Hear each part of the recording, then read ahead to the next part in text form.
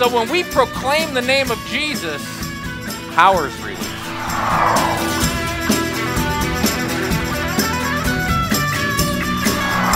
Welcome to New Dawn Community Church, the message of the week with Pastor Randal Cutter. So today we are jumping back into the book of Luke, chapter 12, and we are today going to have Jesus focusing his perspective on how we view material possessions.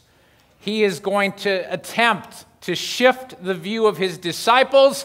We're his disciples. He is going to attempt to shift our view also in this time in Luke chapter 12. I have a little video clip that reminds us how we view material possessions. Ready? You spend your working life taking care of your number. Retire, and it can take care of you. With help from ING, you can use your number to get steady income in retirement.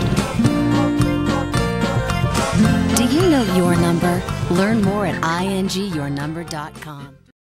Okay, ING has that. Remember that commercial, right? Where everyone would be walking around with their number, and some of them were really big numbers, and some of them were small numbers. And it puts so much insecurity into the people that watching that don't have any numbers.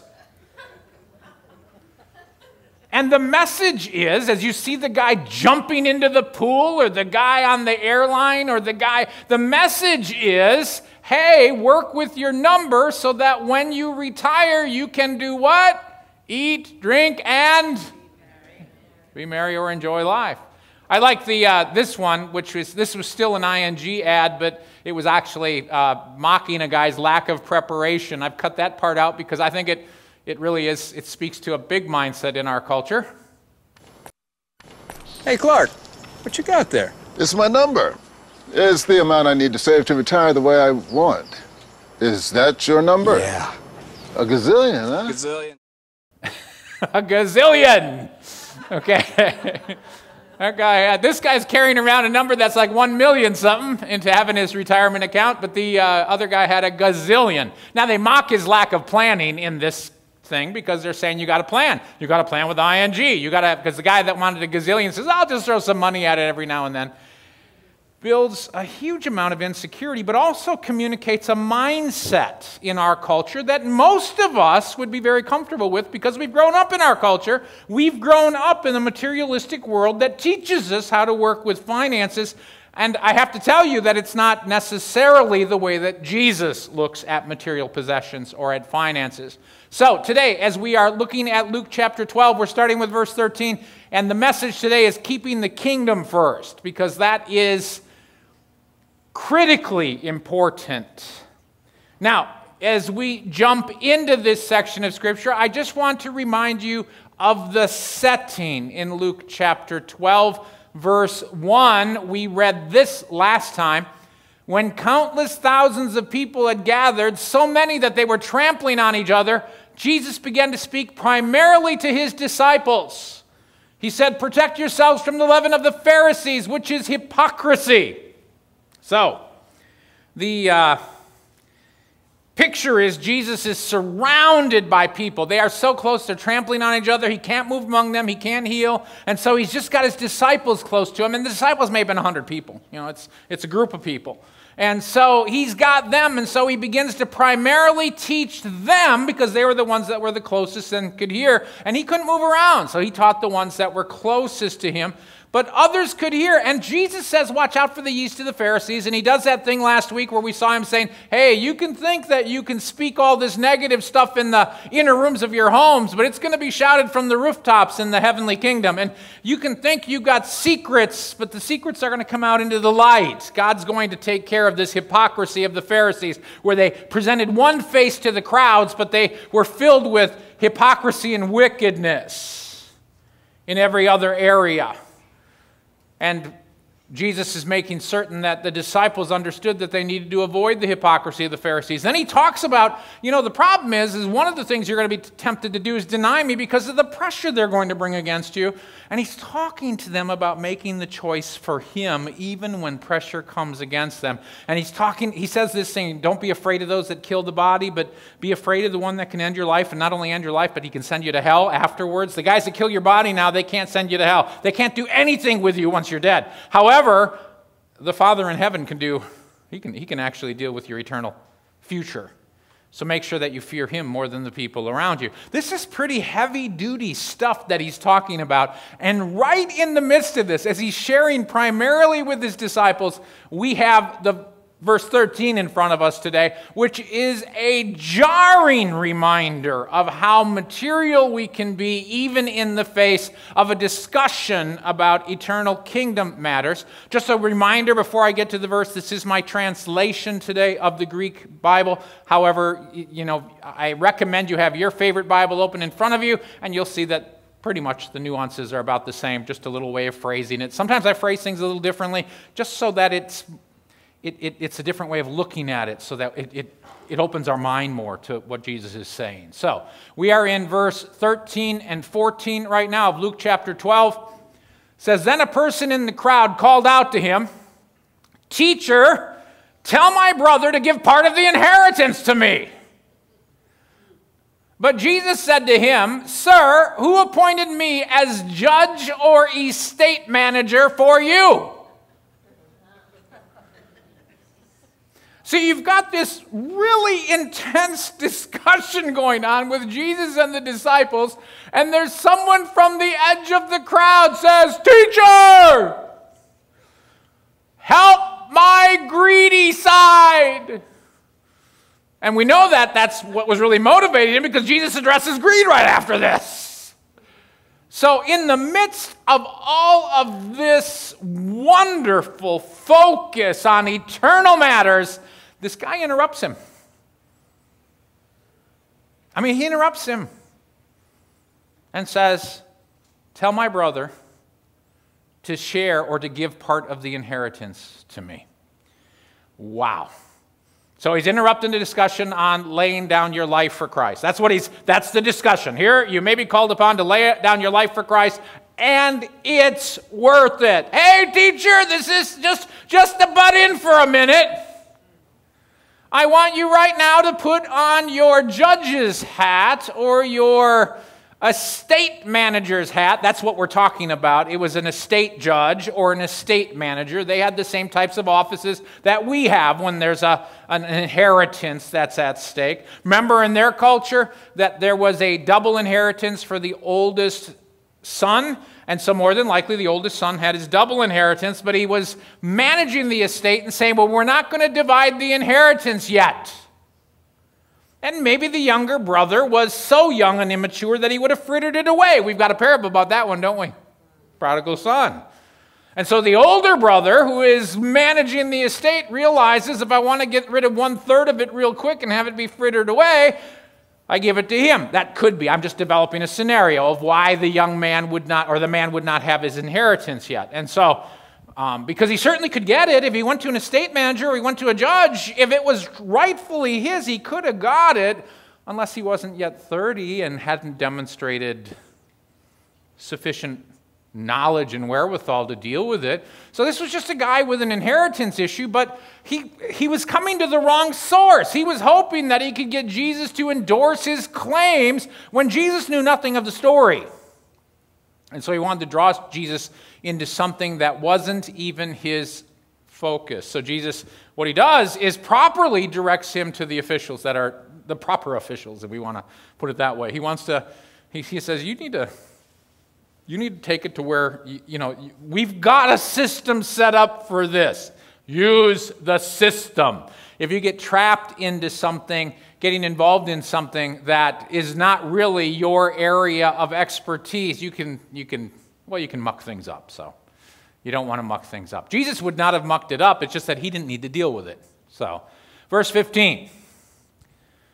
But to his disciples, he said, Take care and guard yourself against all types of greed, for even when a person has an overabundance, life is not about what you own. So Jesus says to the man at the edge of the crowd, Hey, go to the proper authorities. And then he looks at his disciples and he gives them an application or a teaching. He's taking advantage of this teaching opportunity, which has been thrust in front of him he had already warned them to be careful of the yeast of the Pharisees, verses chapter 11, verse 39. This was, this was in, you know, very close. He had already said this to them. The Lord said to him, said to, uh, well, this is the, not the warning to the disciples yet at this, but at the present, you Pharisees clean the outside of the cup and the plate, but your insides are full of violent greed and habitual wickedness.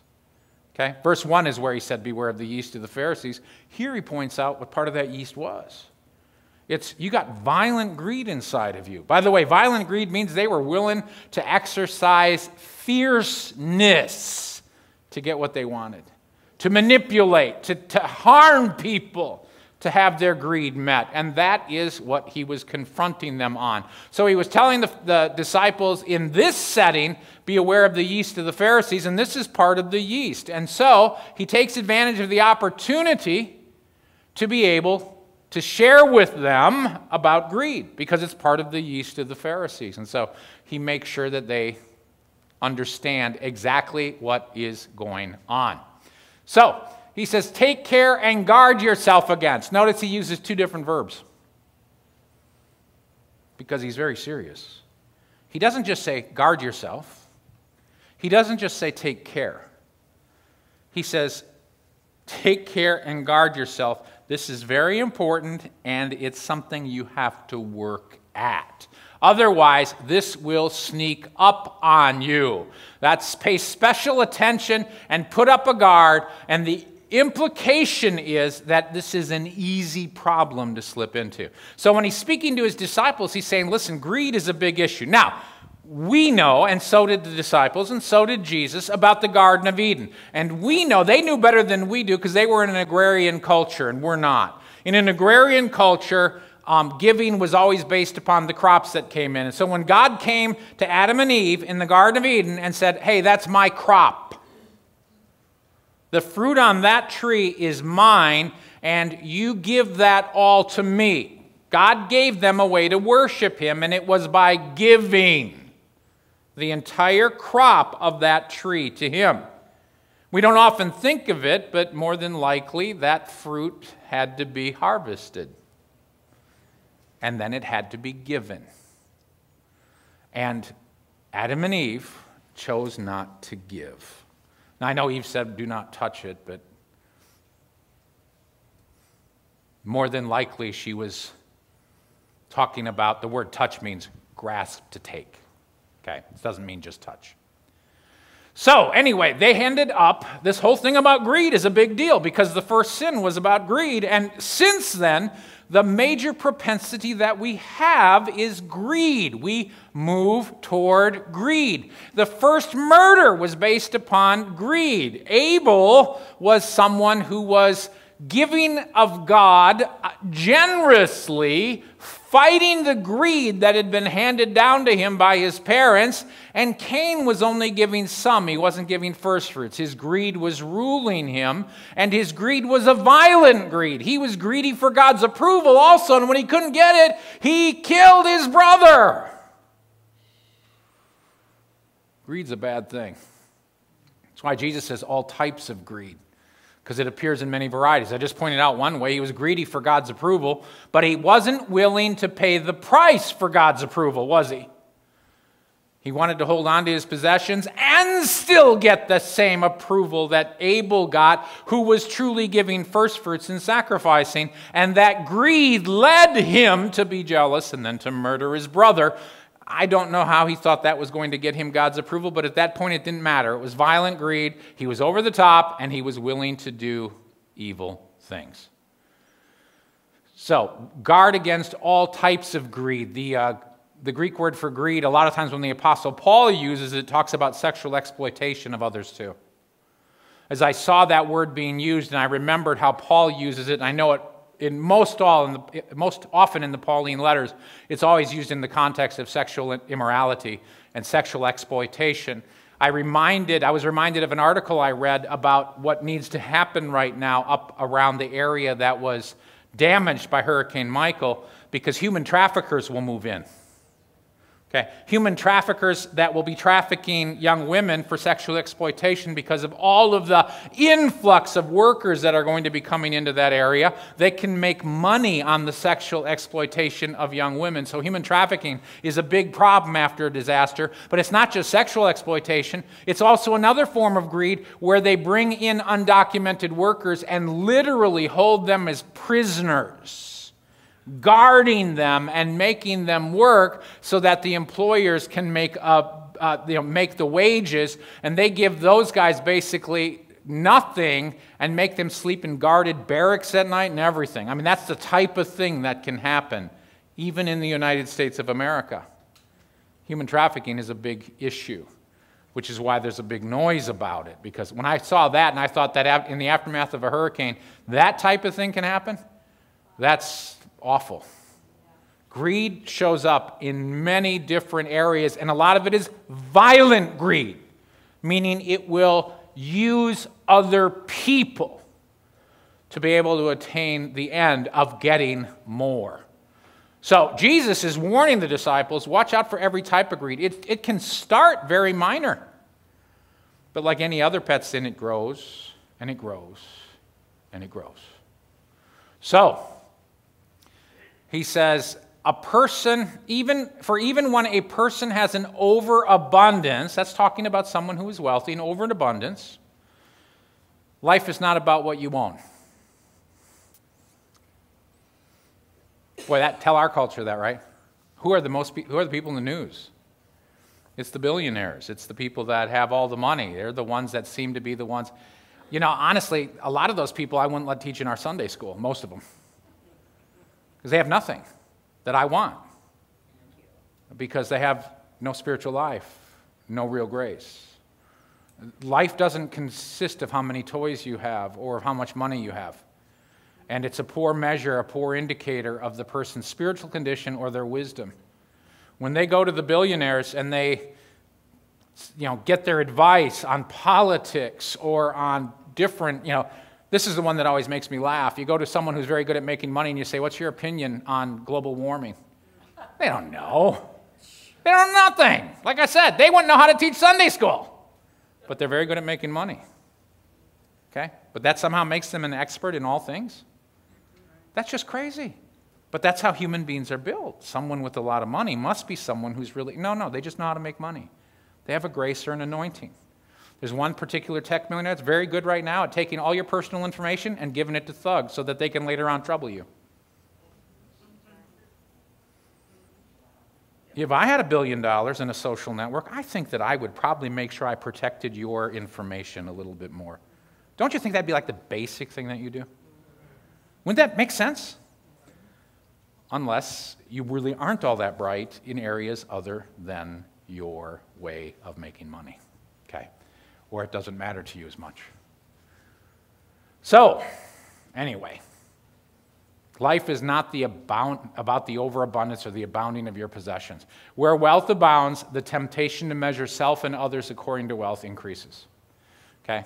This is an application of greed, by the way. I mean, it's where wealth is there, everyone starts to measure. Why? Because then we all want that, that prestige, that power. We, that's why greed starts to build in. It's a greedy response that measures people by the amount of money that they have.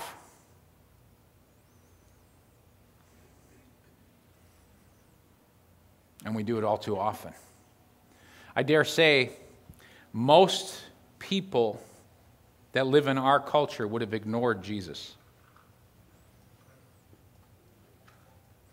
They might have liked him for his healing, but they would have gone for him for any other wisdom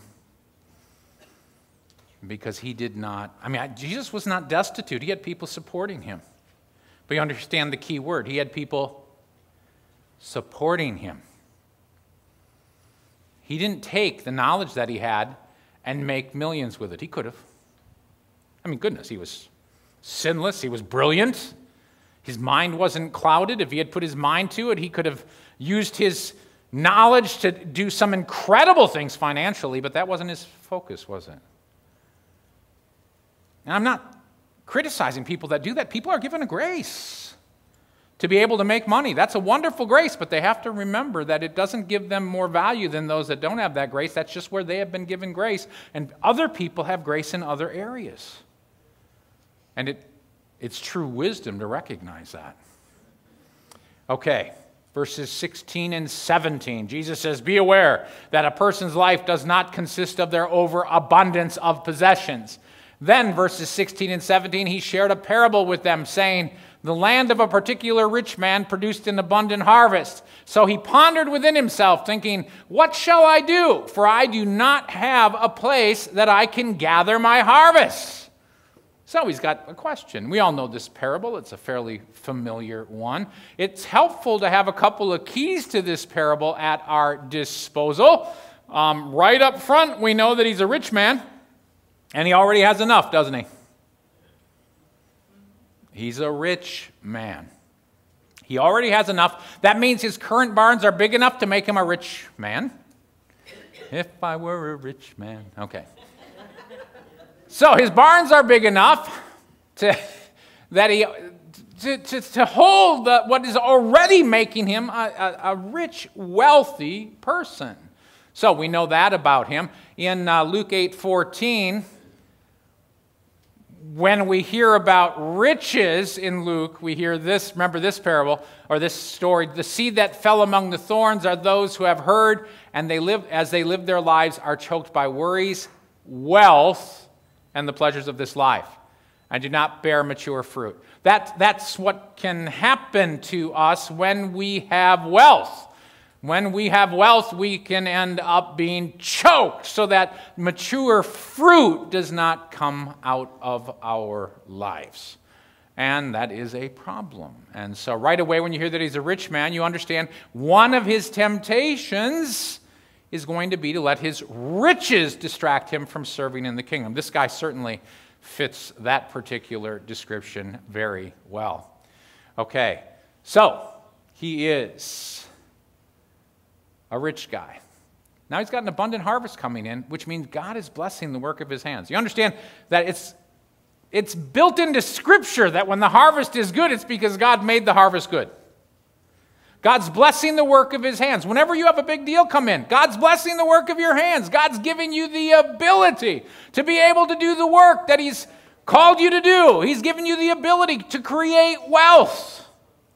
It's God doing that. So God's blessing the work of his hands, which means you got to have a question that you ask yourself, and it's the question he missed why has God given this to me? Why? That doesn't even enter his mind, doesn't it? Why has God given this to me? So I can be a greedy pig. Is not the answer. Why has God given this to me? Um, you know, when you, when you think about it, even wealthy pagans. By the way, this guy's a Jewish guy. It means he's in covenant with God. So this, this story is about people in covenant with God, which means it's about us. There are two groups of people in covenant with God in Christian theology. Number one, it's the Jewish people. Number two, it's us. Right? So, this is not about Joe Pagan, but even Joe Pagan knows a little bit about this. How many hospital wings have been donated by Joe Pagan? Universities have been endowed. People that have huge amounts of money, they say, Man, I've got more money than I know what to do with. I'm going to use some of it to bless my community. Even pagans understand this. But when this greediness thing hits someone who's supposed to be in covenant with God, it kind of can make you go nuts. And you end up missing what even Joe Pagan understands. Why has God given this to me? He didn't ask that question. He says, hmm, what am I going to do? He's thinking in himself, what am I going to do? Missing the fact that God is the one who's blessed the work of his hands. So why has God given him this? And he comes up with you know, the absolute wrong conclusion. Verses 18 and 19. Then he said, This is what I will do. I will tear down my barns and build larger ones, and I will gather all my grain and my goods there. Then I will say to my soul, Soul, you have many goods stored up for many years. Relax, eat, drink, and enjoy yourself because you've got your number. Your gazillion has come in. Right up front, we have evidence of a poverty spirit. I'm just telling you, it's a poverty spirit. You don't need to be poor to have a poverty spirit. A poverty spirit is when you do not trust God for the future. He doesn't trust God for the future. He's like, I've got it now, and so I need to build up in case everything goes wrong. I'm, I'm not saying that people are prepping for disastrous futures are uh, wrong in their preparation. Um, you know, when we did the Millennium thing, we t- said get water in case things the electric grid's affected at the you know when we were talking about the Millennium bug and all that stuff. Make sure that you have you know water filters and stuff just in case. We made sure that you had stuff. And, and our current advice is just in case there are short-term problems with the electric grid or anything, which apparently has got Congress focused on it at least now. Thank God. But, the, um, but if there's short term problems, make sure that as a Floridian, you follow the advice of our um, government in Florida, which says make sure that you have six weeks of supplies or three weeks of supplies, whatever, especially during hurricane season, just because it will get you through any negative things. Okay? And uh, even then, I mean, if the people that were in Michael, uh, right at Mexico City, had hurricane supplies, those supplies are gone. Okay? But a lot of people in the peripheral would still have the ability, even though an entire county is without electricity, to be able to have at least some supplies in case the supplies don't come in. Because you understand they have to cut their way in, especially in that forested area in the, in, in the peninsula up there, or the panhandle. Uh, they, uh, you know, that, that it takes a while to get all that supplies in. So uh, there's nothing wrong with preparing uh, for short term disruptions. However, it's a poverty spirit to assume that you have to hoard, that God is not capable of providing for you if things go bad. Now, I think it's great to, to be prepared. I understand that it's good to be prepared not only for you, for your family, uh, for your neighbors, you know, whatever, in case things happen. But there's a difference between that and doing what this guy did. This guy just simply was like, well, I'm going to assume that I will absolutely have nothing in the future, and, and even if I did, doesn't matter. I'm going to, I've got it now, and I'm going to use it. It's total self focus. He's building bigger barns. It's just self focus. He didn't ask, What does God give me this for? It's total self focus. He didn't say, Why is God giving me this wealth? He's ignoring wisdom and he's ignoring the kingdom of God. That's, you know, it, or kingdom good. You know, he's. Why did God give me this? You know, especially in that culture which was agrarian, his choice can impact negatively all the other farmers around him. And it was a bumper crop for him, but was it a bumper crop for them? What about the other people? I mean, there's all sorts of ways you need to analyze what was going on from an economic perspective. However, we don't need to get into that. We can just go, this guy had a poverty spirit, and that poverty spirit stopped him from saying, What is the kingdom good? Seek first his kingdom and his righteousness, and all these other things will be added to you as well. He was more concerned about his number. By the way, when Jesus tells this story, it's obvious. Um, the uh, Apocrypha, which are the books that were written between the end of the Old Testament and the beginning of the New Testament, and were well read, well understood. People that lived in Jesus' age read them as good spiritual material. One of the passages from the Apocrypha that everyone would have known would be this one from Sirach, chapter 11, verses 18 to 20. Someone may grow rich by working hard and denying himself pleasure, but what does he get for it? He says to himself, Now I can finally sit back and enjoy what I have worked for. But he has no idea how long it will be before he must die and leave his wealth to others.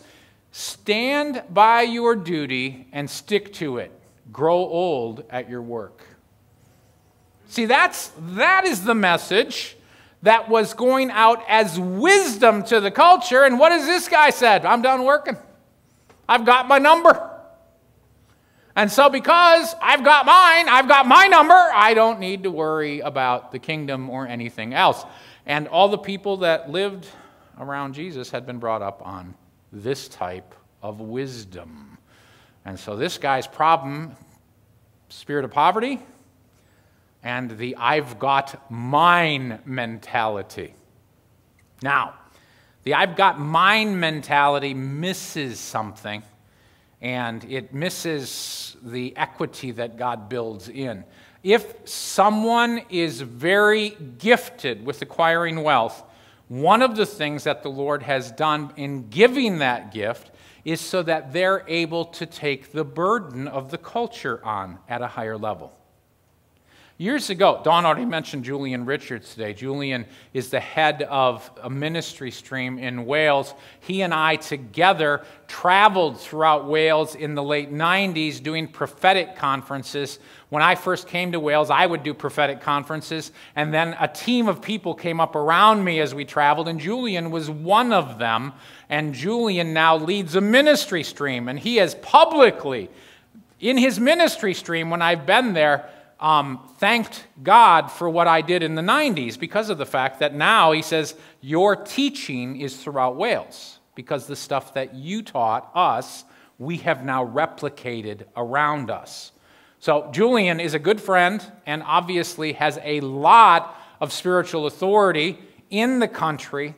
And years ago, he said, this to me, and I, I, had to chew on it, and I remembered it now as I was putting this together, because I, I, as I read this parable, I thought, okay, this is where it fits. And this was his quote. Now, notice I didn't put it up at the level of Scripture, because this is Julian's words. This isn't God's words. He said, When the wealthy only tithe and the poor tithe, there is injustice. Now, I might say there's not justice. And when I first heard that, I went, huh. I, I, I, I mumbled about it. You know, I was like, like that. And then I realized this rich guy is an example of that. Because instead of saying, God is giving me an abundance to be able to, because what was his other option? His other option was to give it away, wasn't it? To be able to help in the culture, to be able to, to sell it and maybe build something beneficial for the whole community, a hospital wing, to whatever. Instead, he said, I'm going to keep this all to myself, and the people, the people that did not have his resources would not get the benefit of what God gave it to him.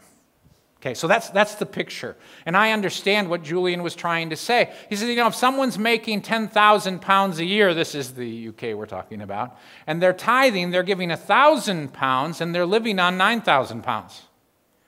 If someone's making 100,000 pounds a year, they're tithing 10,000 pounds, which is, a, you know, a, a 10 times more than the other one, but they're living on 90,000 pounds as opposed to 9 thousand pounds. And that was the point that he was making. There's this huge difference in, in you know, what the person has the ability to do. And that point was, and he, he told me when he said this, he said he felt the Lord had shown him this. And I'm thinking, like I said, well, maybe I would have said not justice instead of injustice because of the fact that there's a different you know, terminology between the two words.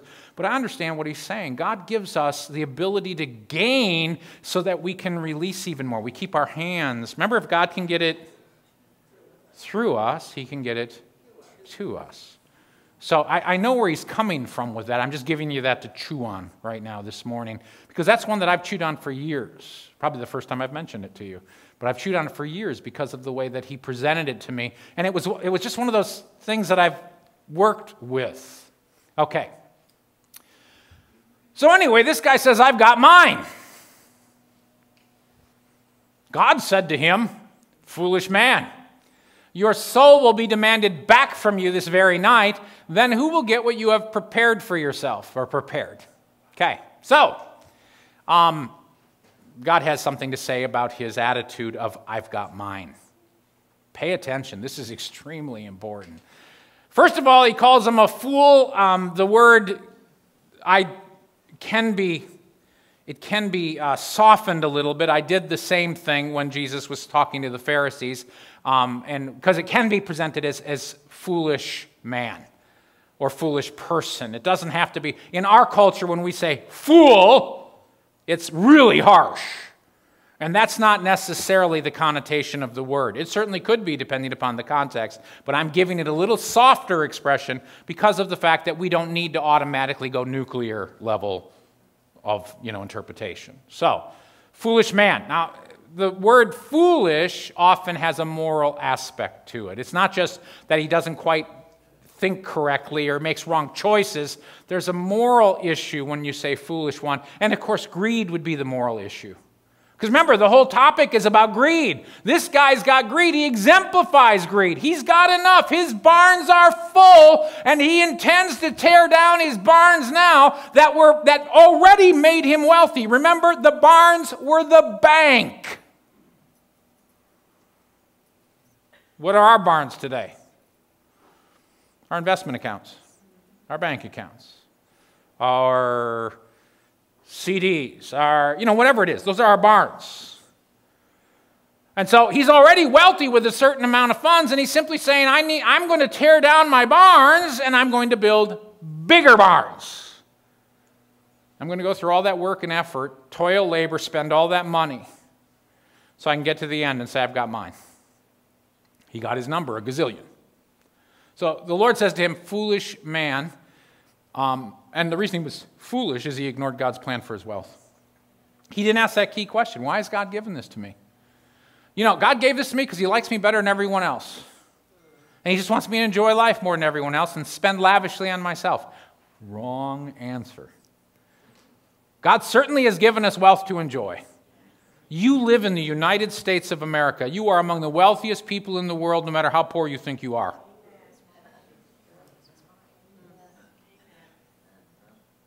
Okay, I'm just, we have to be honest and real, you know, we have to be real about where we live. We consume the world's resources at a very high level because of the fact that we have so much good stuff. Right now, people that are in poverty can have um, things that people in poverty around the world would never think of having. When I was in the boonies of India, that's a specific province in India. No, I'm kidding. No one. I mean, they had almost no electricity. I remember being in one village and they had some electric lines coming in, and then the, the electric lines went to the leader of the village house, and there was one refrigerator. And it was hooked up. And by the way, the electricity went beyond all day, so they would know when the refrigerator was supposed to be shut, and like the medicines and stuff that need to be refrigerated would be in there. They didn't have those refrigerators so they could pop out a cold one. They had those refrigerators so that they would be able to refrigerate the stuff that absolutely needed to be refrigerated. You understand? We all got refrigerators in our culture for the most part, and if we don't, if our refrigerators aren't working, we're thinking, "Oh my goodness, life is upside down." It's even worse if our air conditioners don't work. By the way, their heat index is way beyond ours. I was standing and preaching in 115 degree weather. They don't even no one has air conditioning except there was in a well built house that I was staying in, there was one room that had an air conditioner in it that would only work when the electricity was on. And the electricity was off hours and hours each day. You understand? We are so wealthy. You know, televisions, they just didn't have them. You'd be going down the road and suddenly you'd see this little kiosk. And I mean, when I say little, I mean here's one wall and here's the other wall. This is the kiosk and it's deep enough to have a counter, and then there'd be a small television set up in the corner so they could watch the soccer games. Football. Right? So they, uh, I mean, you just, we are so spoiled. Okay? I mean, if someone doesn't have a television, goodness, if someone doesn't have a cell phone, well, they probably all had cell phones, but anyway, no, they have a lot of cell phones out around the world now. But it's still not anything compared to what we have. So, um, we are incredibly wealthy people, which is why when we see something happening like Michael and we have the ability and God's leading us, we respond. Or when we see the Florence thing, and many of us responded for Florence. And, and, and so there's just different ways that we're able to respond to what's going on. Um, Jesus was, gave us In Matthew 6, God's plan for our wealth at a very high level. He said, Do not store up treasures on earth for yourself, where moth and insects consume it, and where thieves break in and steal. By the way, the word that's usually translated rust really is talking about insects. And, you know, when you talk about rust, you're talking about our culture, aren't you? Did they have rust back then? Yeah, but they didn't have as much stuff to rust like we do. Rust wasn't their big deal, it was insects consuming their stuff. That was a big deal. Moth and insects consume it, and where thieves break in and steal. But, but store up treasures in heaven for yourself, where neither moth nor insects consume it, and where thieves do not break in and steal. For where your treasure is, there your heart will be also. That was Jesus' teaching, where your treasure is. Make sure that if anyone looks at you, who has any level of spiritual insight about your finances, that they can see that your heart is on the kingdom. That's what Jesus is saying. I remember years and years ago listening to a uh, radio preacher, and he would, he would say, Hey, whenever someone comes in and wants counseling in our ministry, we have a very simple request bring in your checkbook. That was back before everyone lived on debit cards and credit cards. Bring in your checkbook. And the people, and he said, and people would say, Why do you want them to bring in their checkbook? Because I want to see where their heart is. All the counseling of the world, uh, in the world is not going to do them any good if their heart's not on the kingdom. So I want to see where their heart is. And that is a, you know, because you find out where their heart is by looking at their checkbook. Now, by the way, tithing helps us with checkbooks because of the fact that the Apostle Paul said when a part of the loaf is set apart as a tithe, it's holy, then the whole lump is holy. And so, generally speaking, we can tell if someone's tithing, that their heart is on the Lord. Jesus is actually going beyond. This rich guy, he, he tithed. You know that. Jesus is going, wait, this is, a, this is a Jewish person who tithed. There's no doubt. Or he would have been ostracized in his circles. Jesus is talking about something far beyond here, where our heart is. So, anyway, his point was hey, anything that you have here can be affected by stocks that suddenly tumble during the past week. Did that happen this week? Yeah, again, okay. But store up treasures in heaven for yourself because if you whatever you put into the kingdom, it's going to be waiting for you when you get there. So, foolish man, your soul will be demanded back from you this very night. Do you hear the word back in there? Demanded back. That really is the verb. Many of the translations do not bring in that idea of it's, it's the word for paying off a loan. And that's life as a loan. Now, when he said soul, you could translate soul. When he said soul, you've got many things built up, do this, and, and then sit back, so my soul, and eat, drink, and be merry. And then the Lord says, This day your soul, your life, the word soul can be life. But it also is that life principle which is in us, which in, and, and the soul is the mind, the motions, the will. It's the part of us that lives on even when our bodies die. And so your soul is going to be demanded back from you. Each of us has our life on loan from God. That reminds us that this life is about serving God. Our life is on loan to God. And so we need to use it recognizing that. So he said, Tonight your soul will be demanded back from you. Then who's going to get what you prepared? And the, uh, this misstep on his part gave his heirs an early inheritance. That's really the bottom line. His whole dinner dialogue just made sure his heirs got their inheritance early. Do you know what this means? Um, if he had sown this treasure, it would have been waiting for him in heaven. But because he didn't sow it, he stepped into the presence of the Lord and he was bankrupt in heaven. Well, if he'd sowed anything before, but the point is he was greedy, and so more than likely he has not done much. You say, well, he tithed. Yeah, tithes giving back to God what is his. That's not sowing, that's not building up the treasures in heaven. That's just giving back to God the first fruit, what's already his it doesn't build up the kingdom. So, his heirs got an early inheritance because he messed up. Then Jesus says this, and this verse is, yeah, I'll say it, the money verse. This is the bottom line for us. Jesus says, This same thing happens to anyone who stores up treasure for himself but is not financially generous toward God. Now, this whole parable would be really great fun if Jesus hadn't said verse 21, wouldn't it? You look at verse 21, you say, Lord, that's, oh, crumb, this same thing. You know what that means? This same thing. Jesus is saying, here's an eternal principle. When someone, and again, I'm not going to apply it to all the pagans, because he was talking about people who say they're in covenant with God or are in covenant with God.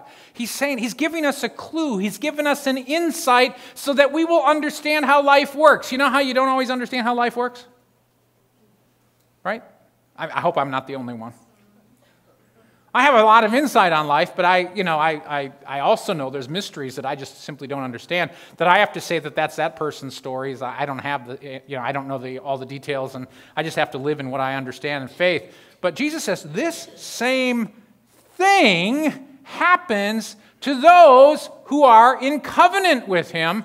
Um, and what this is saying is people die young because of this mistake. This landholder died young because of his greed instead of recognizing that there was something more he could do with his wealth. He was already wealthy, God wasn't going to kill him.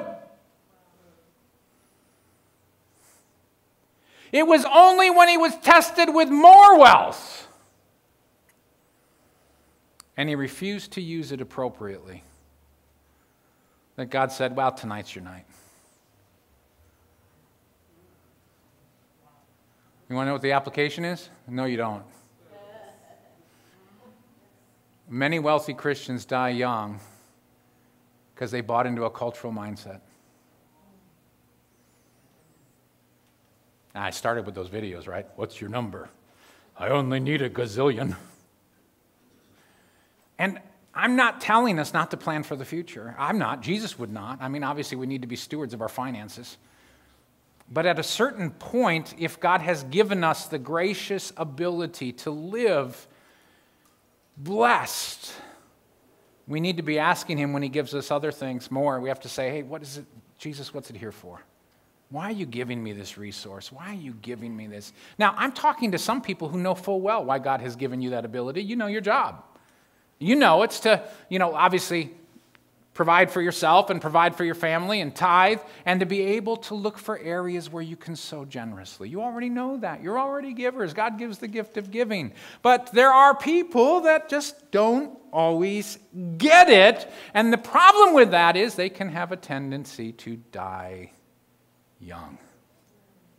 This same thing. It's only one Greek word, it's thusly, which means this same thing.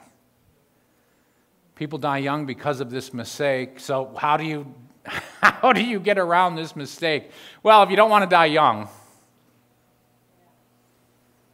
you be financially generous toward God. That's what he says. This is what the same thing will happen to anyone who treasures up for himself but is not financially generous toward God. Now, that's as far as we're going today, but next week we're going to get into why. Because right now, what happens to people is, yeah, but this and this and this, and Jesus deals with all those things next in that thing. He, he starts meeting people's things that go off in their heads. Well, what about this or what about that? So this is part one today. Part two is next week when Jesus starts dealing with all the objections to what he is saying today. And so you just have to wait a week to be able to get to the objections. Now we've got the general principle.